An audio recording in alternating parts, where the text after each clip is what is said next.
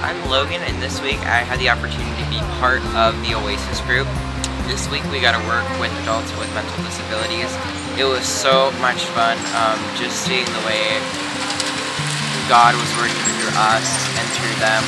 We had so many fun activities this week, like we had a dance party and we did some other fun stuff too, like karaoke. We got to sing together as a cabin and that just made them so happy and it made me happy too. So making friends and just long-lasting friendships was one big thing this week for me. All the campers were really just fun to get to know. They each had something different and unique, and their gifts were shown this week to us. I'm really glad I came, and I'm just blessed that I got to meet all these awesome people this week.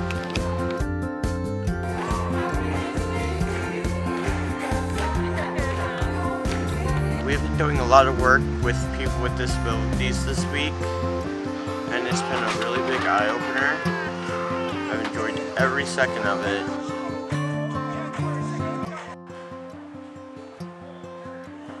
I have fun at camp.